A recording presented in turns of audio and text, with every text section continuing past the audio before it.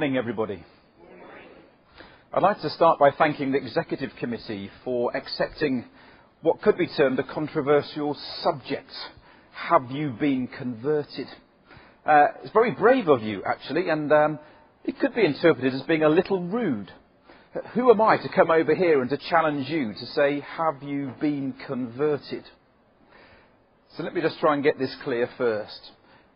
Who I'm challenging is myself.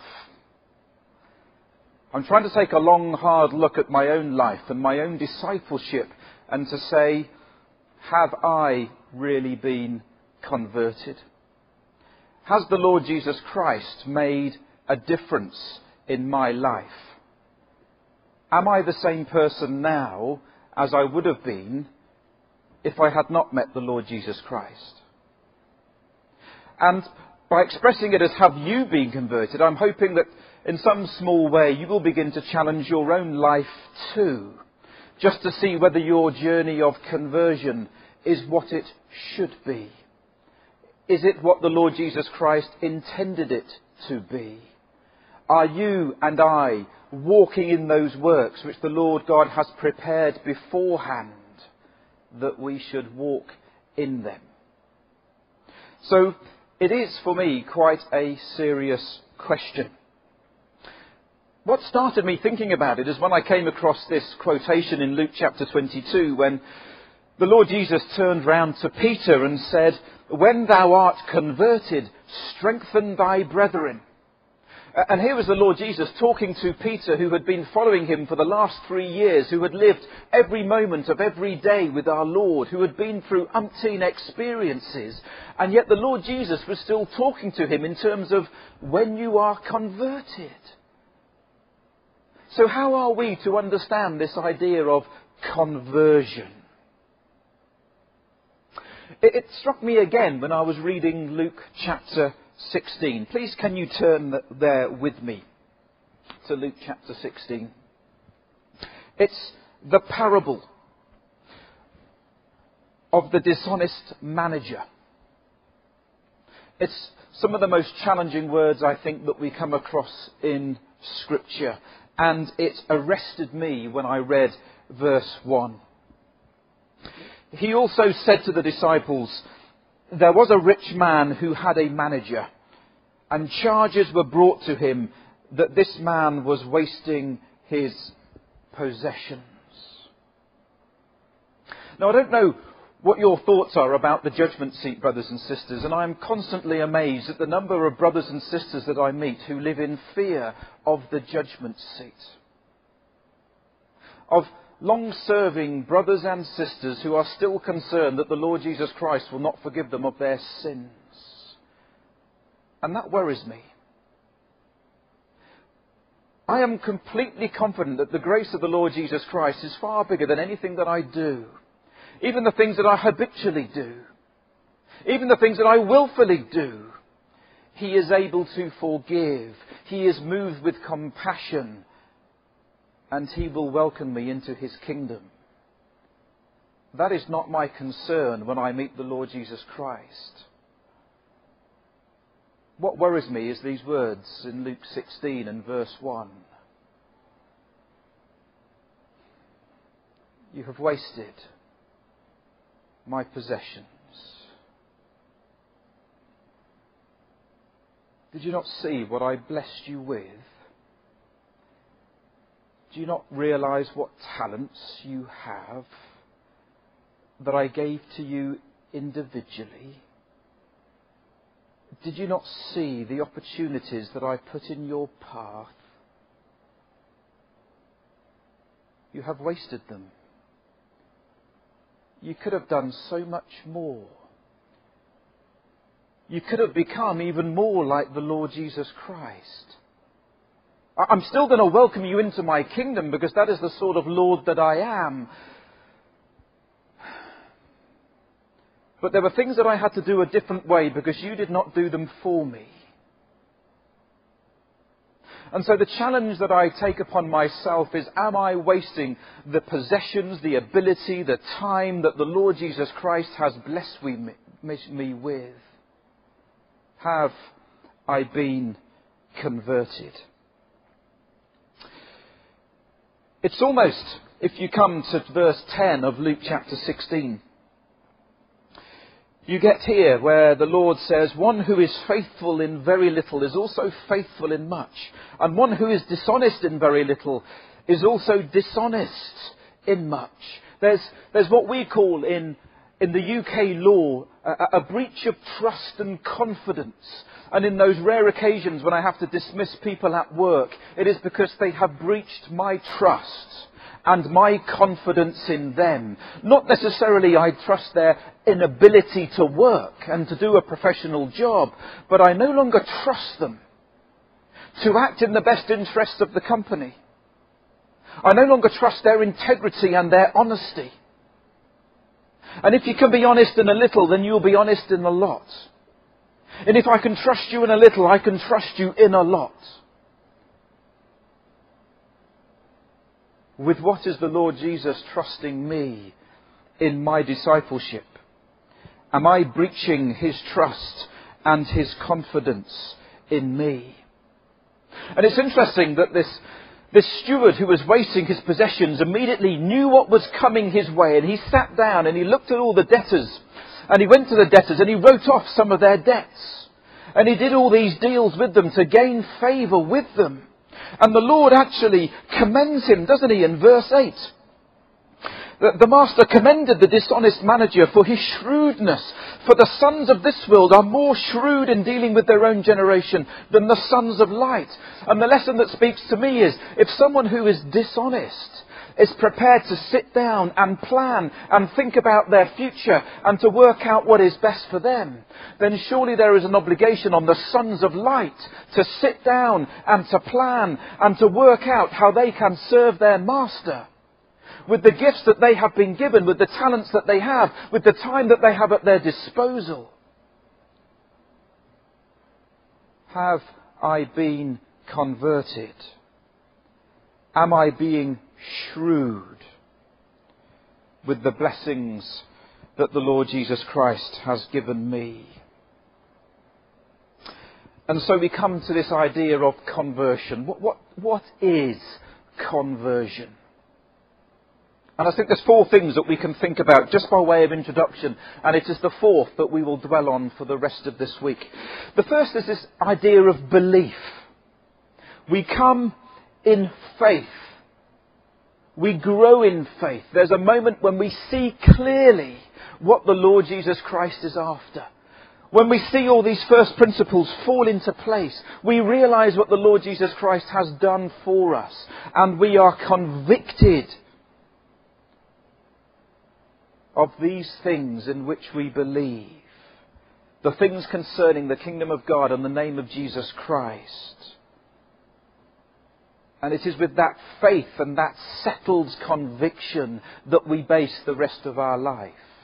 That surely is the start of conversion. The second step is, is one of repentance. When we realize who it is that we come to serve the Lord Jesus Christ. And we come to look at ourselves and we see the great gulf between the Lord Jesus and ourselves. We realize, just as Peter had to do, that we have to fall on our knees. Depart from me, for I am a sinful man.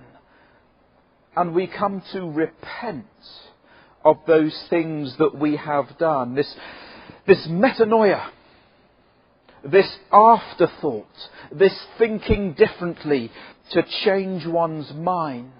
And the Lord Jesus Christ went to enormous lengths to make an impression on those people that they would just stop and reflect and realize that they needed to change their mind about the direction in which they were traveling. He spoke to them in parables that they might think, well, I wonder what that means.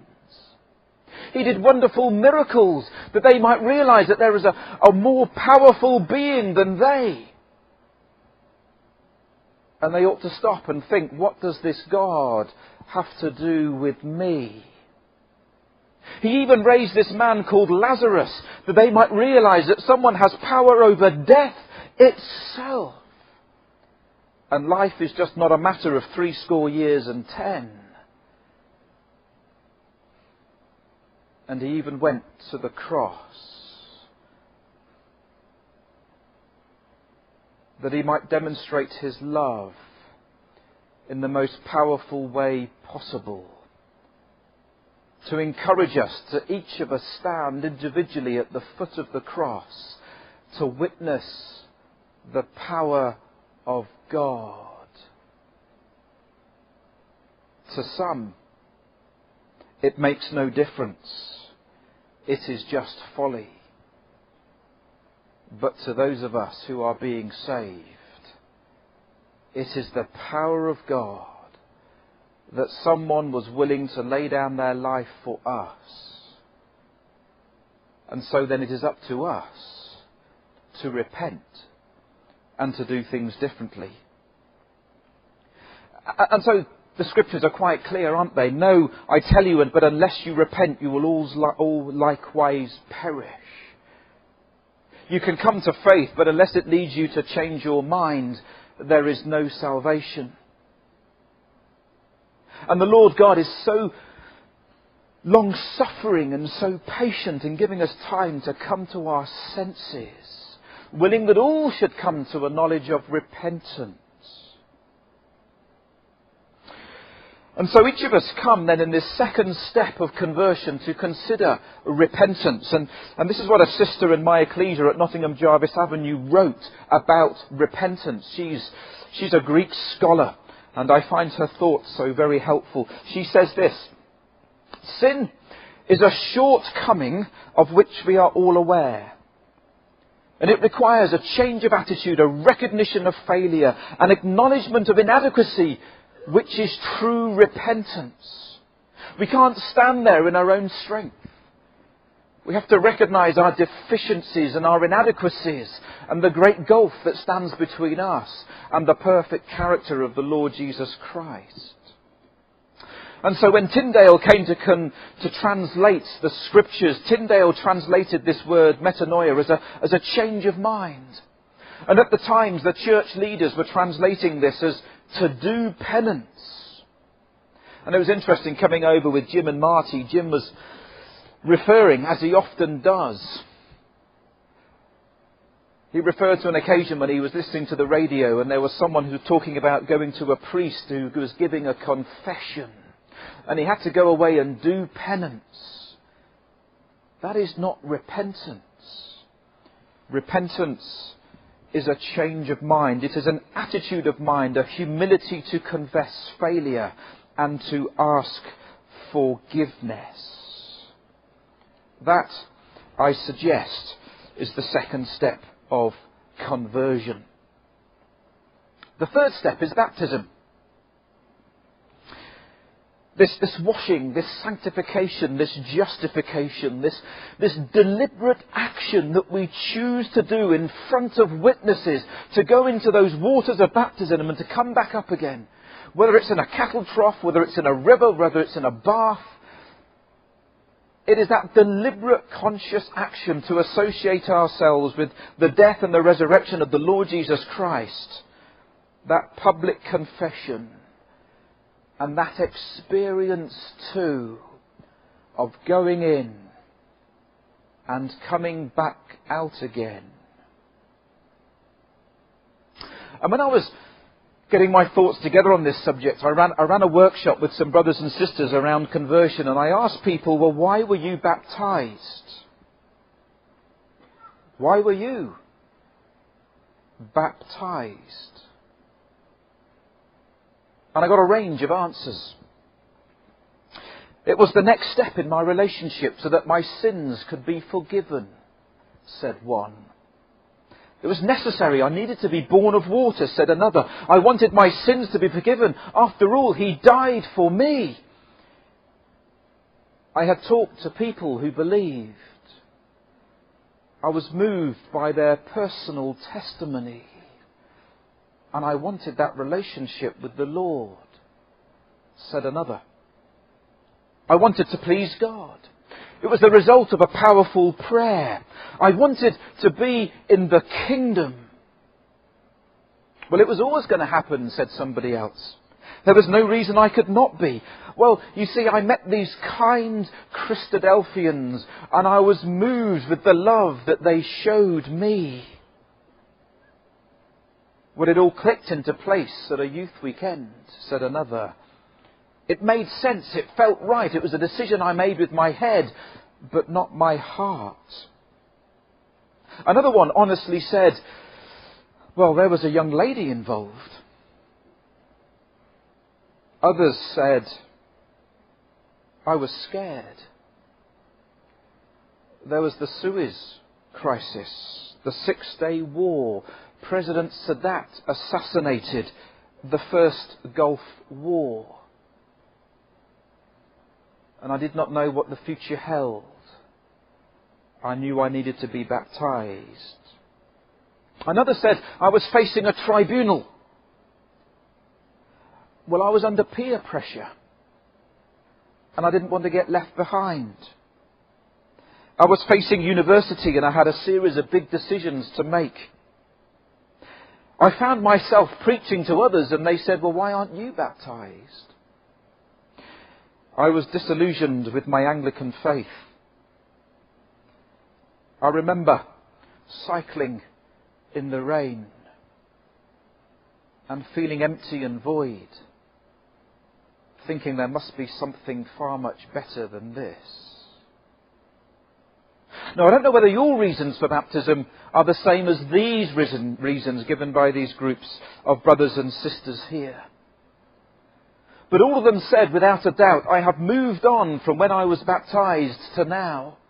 I have grown in understanding, yes.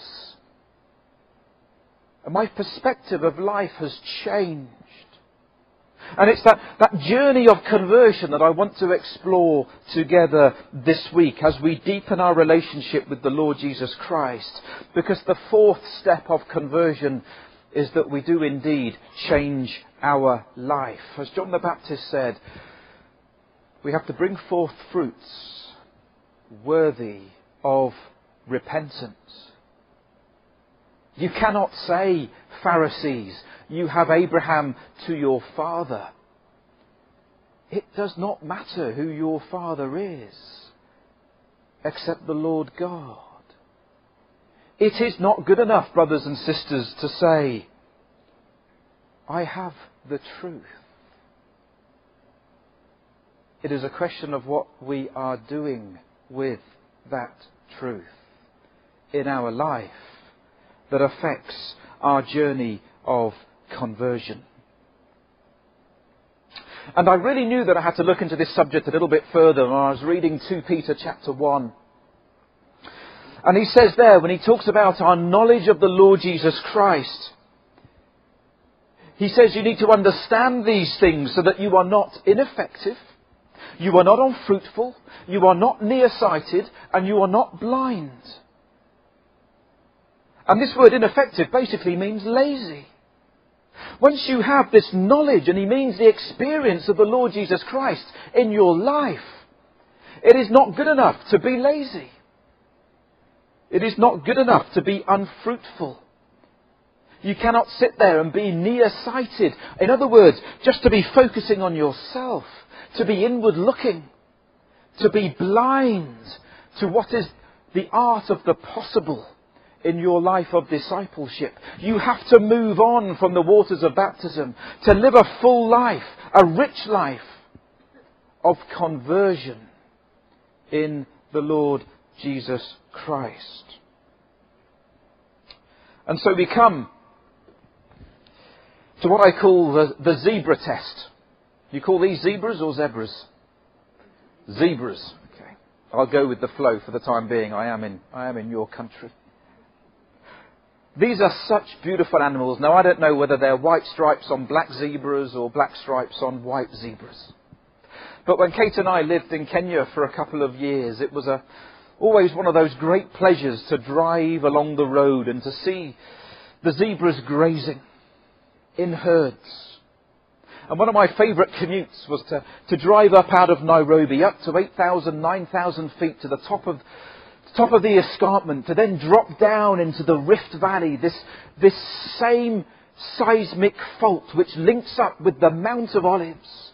As you then drive down three, four thousand feet into the valley floor, passing the, the dormant volcanoes and the, the volcanic lakes, and Lake Nakuru with this tinge of pink around it with the flamingo, and passing the herds of giraffe and zebra on the sides of the road. And it went through my mind, what is this valley going to look like when the Lord Jesus Christ returns? But maybe this is going to split in two and, and the dormant Mount Longonot is going to explode again. But anyway, back to the zebras. No zebra is the same.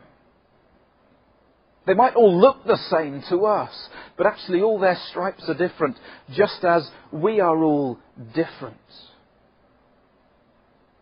And being converted is not a matter of being different from each other. It's a matter of being different from who we are when we were baptized. Has the Lord Jesus Christ made any difference at all to our personality? to our characteristics, to our priorities? Have we turned round for a start and have we faced in the other direction?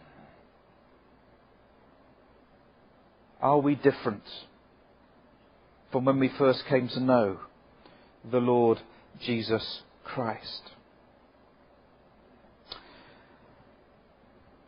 And so when you look at repentance, we talk about thinking differently. We talk about changing one's mind. We know that this is the very basis of salvation. And I don't want anything of any of my remarks this week to challenge you, to make you concerned that you will not be in the kingdom. Because if you've come to a faith and repented and been baptized, you have entered in, brothers and sisters, to grace. You have changed from death to life. Conversion is just a matter of how rich your life can be in the Lord Jesus Christ. I want to challenge you, but I don't want to worry you. It's something that precedes baptism. It's something necessarily that has to bring forth fruits. But when we come to this idea of conversion, it, it has a different meaning. This word, strepho, this, it means a twisting around. And it's almost as if before you are baptized, you are facing in this direction your old way of life. When the things of this world mean so much, your career goals, in my case, and you are dead set on maximizing the potential of fulfilling your ambition, of, of working on the edge of your competencies, of being challenged each and every day. And as you get to know the Lord Jesus Christ, you begin to know, just like, like, like, that zebra, you have to turn around and you have to face the Lord Jesus Christ. And it is He that you confront in all His glory and all His majesty and all His beauty. And you begin to see the person and the character and the love. And you realize that you need to become a dim reflection of Him. And it is once you are facing Him that you can begin to follow.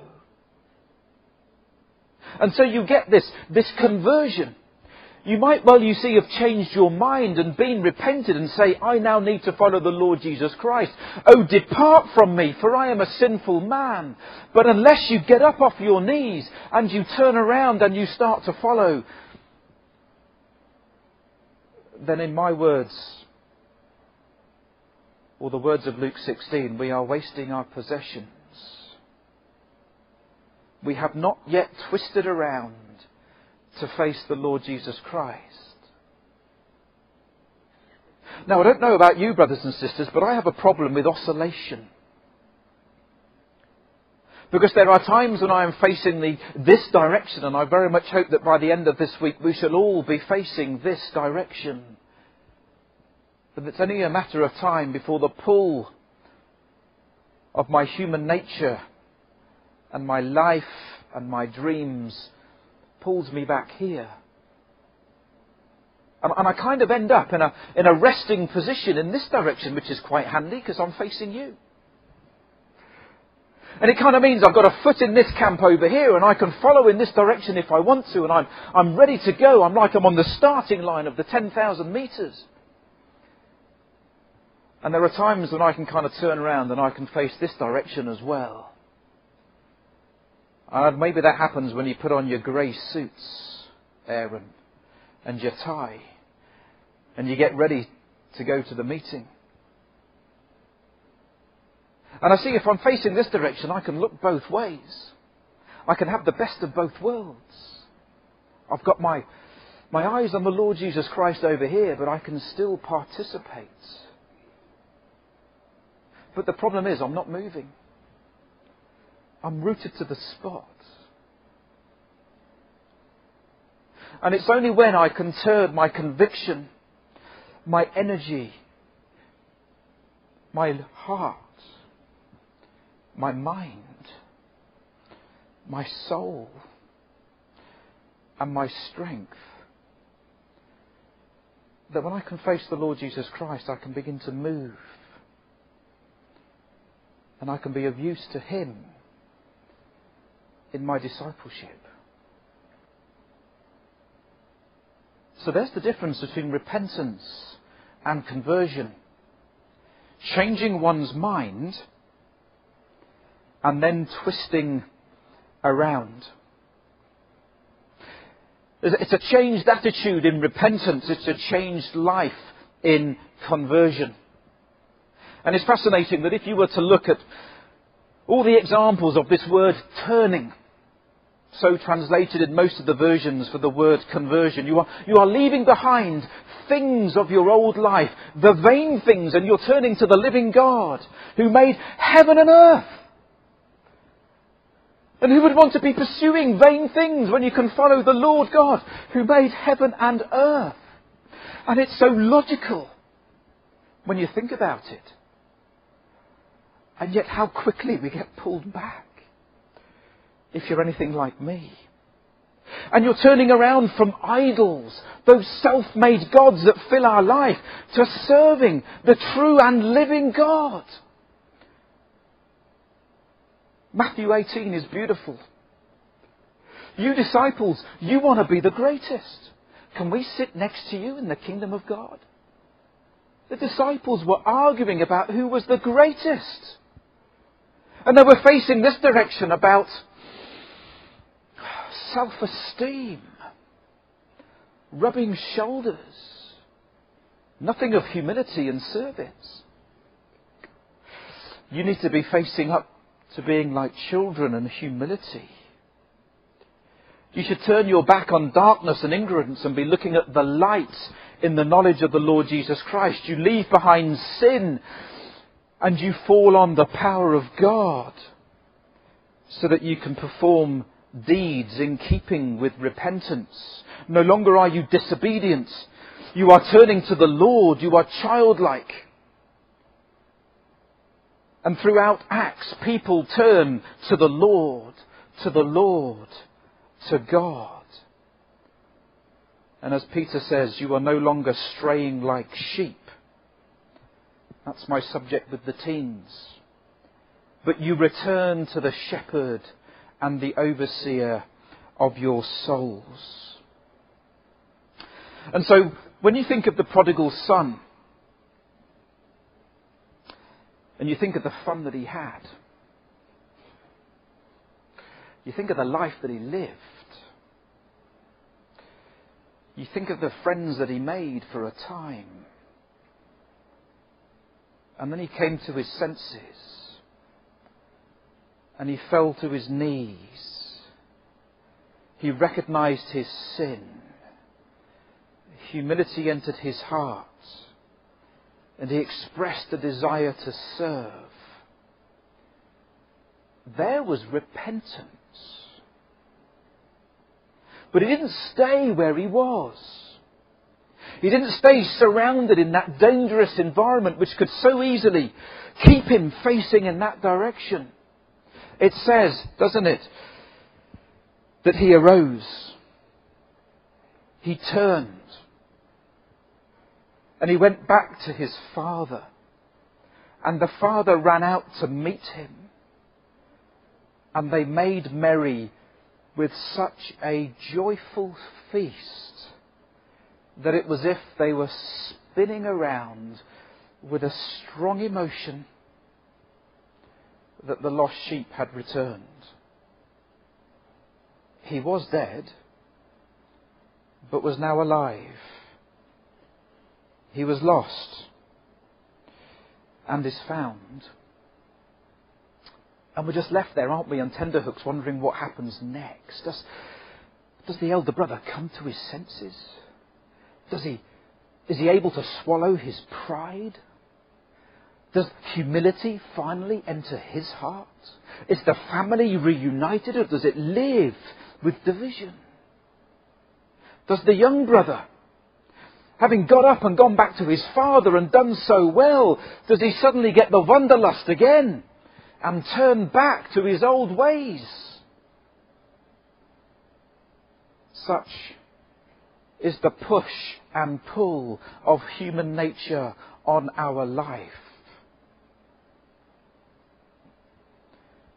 But there is the difference between repentance and conversion. Conversion is all about the life that we live in the Lord Jesus Christ. There's a wonderful writer called William Barclay who wrote a whole series of really thought provoking books. And, and he, in one of them, turning to God, set out a series of attitudes which, in his experience, Christians were demonstrating in their life, or people that he came across. The first category is this the, the, the fools. Those people that say in their heart, there is no God. And we, we know them, don't we? We see them at work. We, we talk to them across our garden fence. Those that are quite happy to accept the idea of evolution. Those that find it very convenient to say, well, there is no higher authority than me. I can choose what I want to do. There is no God. There are those who are quite happy to accept there is a God, but a God who places on me obligation? Ha! I want nothing to do with him. I, I have free will. Well, why should I go and follow the will of somebody else? I'm sure we know people like that as well. There are those, and this, brothers and sisters, really struck home to me. The, he quotes from the French philosopher Voltaire. Now, I don't often quote from philosophers. In fact, this is probably the only quote that I have. We nod, but we do not speak. How many, how many days of your week, brothers and sisters, does that describe you? You are aware of God, of course. But you don't seem to have the time to stop and spend in His presence.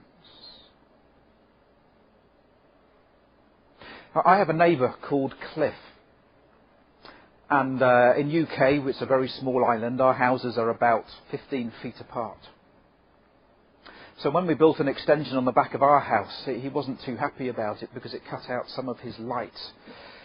And uh, he gave us the cold shoulder. And there were times when we would see him in his front yard and we'd walk down the street and we'd say, Hi, Cliff. And he'd just nod wouldn't even say anything to us. And it became a little bit of a competition between Kate and myself to see whether we could get him to speak to us, which perhaps isn't a very Christian attitude at all. How many days of the week are you a cliff? Apologies to anybody called Cliff. God is there always by our side. How many times do we give him the cold shoulder because we are so focused on what we need to do that day? We give him the briefest of nods. Perhaps there are times in our life where you know, we have got everything boxed up. It's like, it's like Jim's shop. If anybody gets the chance to go in Jim's shop, he has got everything perfectly set out. If you want an 8 inch screw, he knows exactly which little tray on which part of the yard, the shop to go to. And he'll pull it out and he'll get it out of its box and say, there it is. Where is religion in your life? Do you have it in a nice little compartment that you can then put back in the drawer and close it? And then it was time to get religion again. And now you open the drawer and you get it out and put on the suit and the tie. Religion has its compartment, does, does not exceed its place. It doesn't impinge on the things that I want to do. Is that where you are in your journey?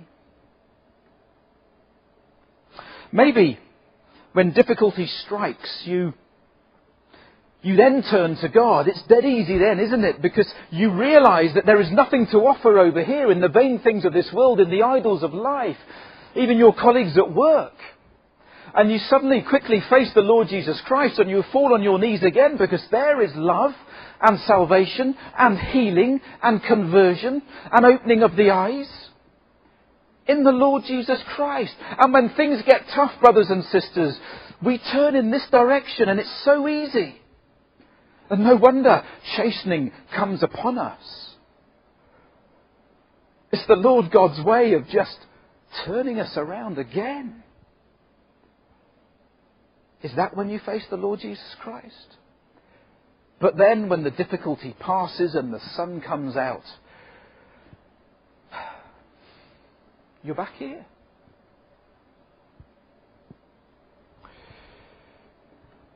This is the steady state. This is conversion to live is Christ.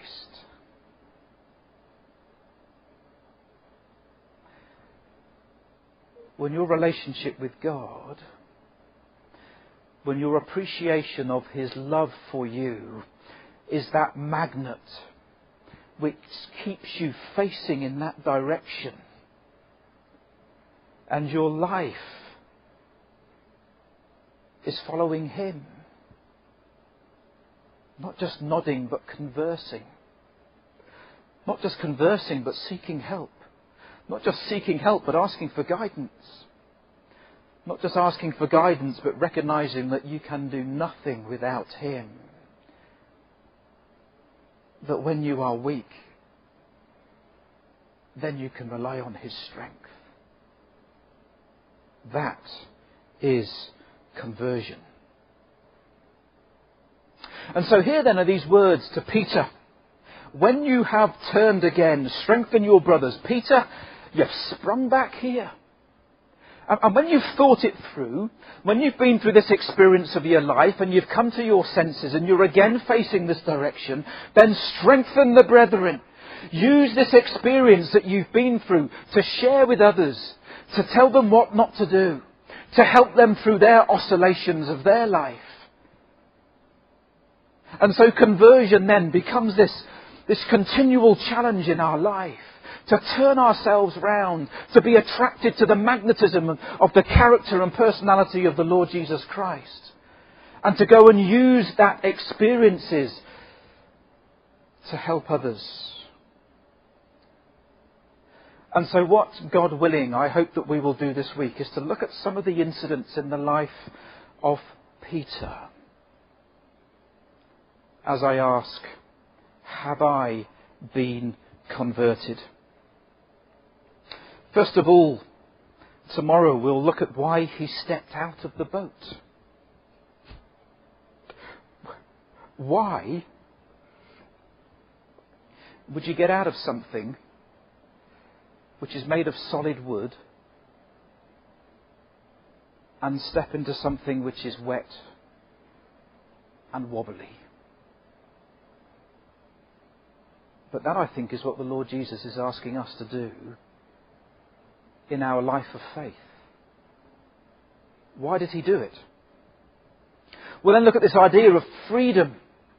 Peter, the sons are free. So, how do we understand this idea of freedom? And are we using it? Or are we still held captive or bound up by whatever it might be?